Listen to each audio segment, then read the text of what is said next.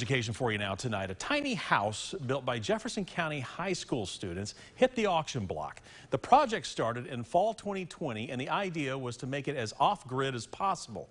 Jefferson County career and technical education students in different programs of study researched, designed and built the tiny house in roughly 18 months. You might be surprised by what can fit in 210 square feet. Inside you'll find an open floor plan with a kitchen, washer and dryer, bathroom, loft area. Tyler Keith is a senior who worked on the electric electrical, plumbing, and HVAC unit, and he shares what was most challenging about this project.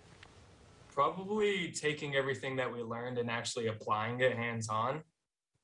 Because a lot of the stuff, it, it seems kind of easy whenever you're learning it in class, but you run into so many little issues that you don't even think about. But just trial and error until we get it done.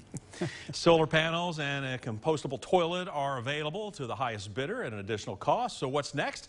School leaders say students are in the process of converting a school bus into a schoolie, which are renovated school buses made into homes.